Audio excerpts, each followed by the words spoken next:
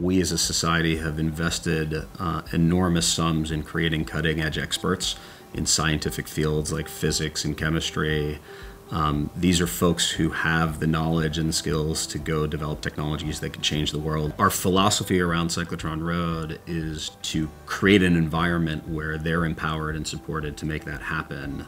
One of our first fellows, Ray Weitekamp, came into Cyclotron Road as a world-class scientist with a lot of great ideas and he came out of the program as a technical leader and entrepreneur who's created a company Polyspectra that's poised to change the way we think about manufacturing uh, in this country and beyond.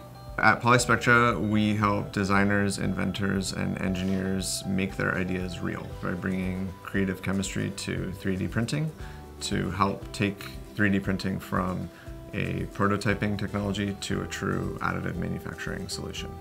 The COR Alpha resin is, uh, we call it the, the world's most rugged material uh, for 3D printing. And what we mean by rugged is that it has very high toughness and very high working temperature. In grad school, I discovered a much better catalyst uh, for doing the transformation that I was trying to do. The first time that we actually kind of tweaked uh, the chemistry together to get it to work on the 3D printer and you know had a 3D printed part in our hands.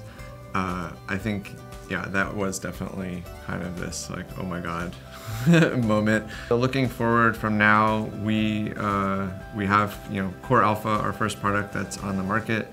We have a lot of customers that are really excited about this new material and Right now we are qualifying COR Alpha for a number of different end-use applications uh, and everything from thinking about making car parts, airplane parts, medical devices, wearables, consumer electronics, kind of everything you can imagine. But I think Ray knew probably within the first two quarters or so of this, of this program that there was commercial potential there.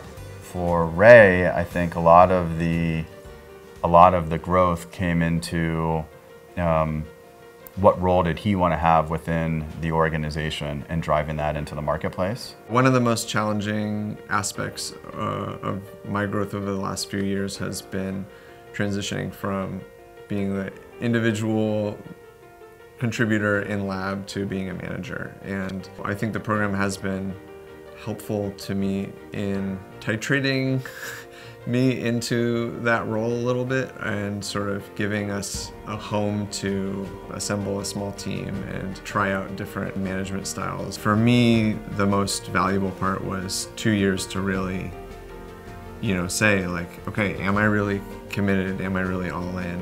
Uh, you know, do I care enough about bringing this technology to the world? They're firing on all cylinders. They, they've defined the product. They know who their customer is and it's it's really cool to see um, what was really just someone coming out of their PhD program with this cool um, idea. Now you see like this business and a product that is really well defined brand. It's great. If we had never gotten into the Cyclotron Road program, I would absolutely be an assistant professor somewhere freaking out about how to get tenure and the technology that we're working on, we certainly would not have gotten it to a point where we have people out in the real world that are using and manufacturing goods with it.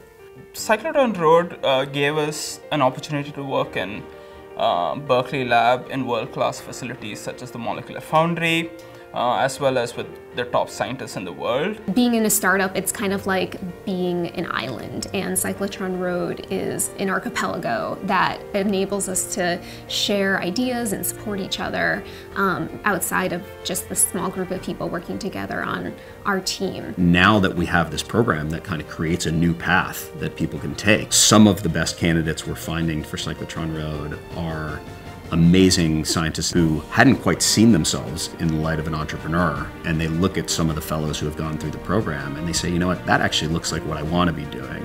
And so we think we're just kind of scratching the surface on the potential to empower folks to go deliver new technologies to the world.